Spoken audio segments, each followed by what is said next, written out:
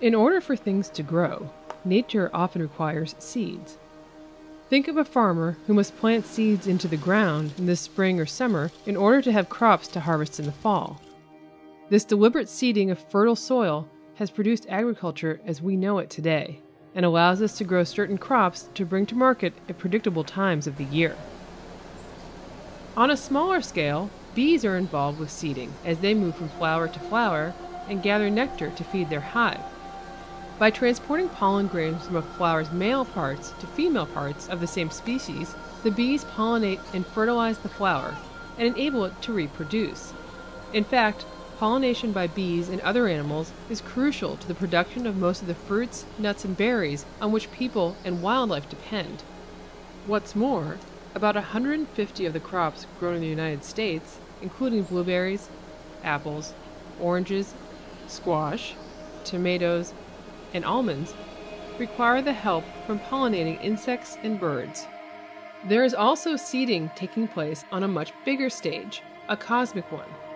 When giant stars run out of fuel and collapse, they can explode in what astronomers call supernova explosions. These supernovas spread elements such as oxygen, iron, calcium, and many others into the environment around the exploded star. While these may not sound like seeds as we know them on Earth, they are, in fact, key ingredients that will be swept up by future generations of stars and planets. It is through this process that the Earth acquired the elements that we require for life here on our planet. On average, a star explodes as a supernova about once every 50 years in our Milky Way galaxy. When it does, it can release more than a billion times the oxygen found in the Earth's oceans and atmosphere combined. So it is clear how seeding can be important to plants and animals here on Earth. But keep an open mind to how this process has a role throughout the universe.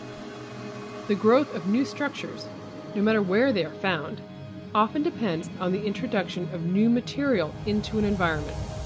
And this seeding can occur here, there, and everywhere in nature through many different agents and on every scale imaginable.